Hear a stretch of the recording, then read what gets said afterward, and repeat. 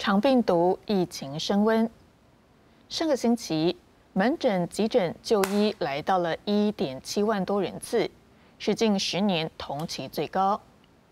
值得注意的是，上星期有一名北部的一岁男童，疑似同时感染了长病毒以及新冠病毒，还并发脑炎，目前还在住院当中。呼吁家长要留意小孩的重症前兆病征，及时就医。新冠疫情已经过高原期，不过上周新增两百四十六例并发症，有缓升趋势。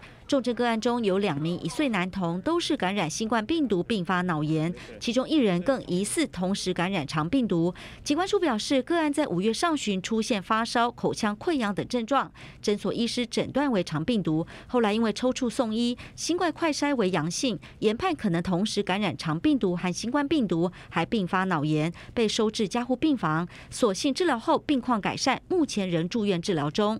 感染新冠病毒跟肠病毒都有这个在小小孩哦都有并发这个重症的风险哦，包括像这次的这个个案的脑炎。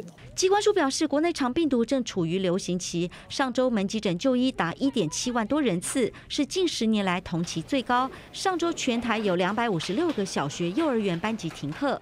目前检出肠病毒七十一型的新北市、桃园、高雄、屏东等六县市，八个乡镇市区更被疾管署点名为高风险区域。啊，目前我们肠病毒的疫情呢是处于流行期。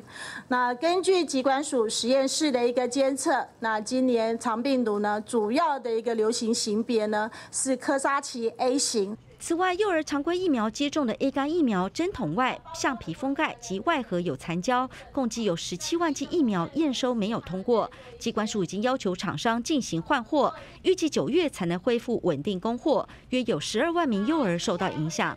机关署提醒家长，携带幼儿接种 A 肝疫苗前，最好先询问医疗院所供应情形，以免白跑一趟。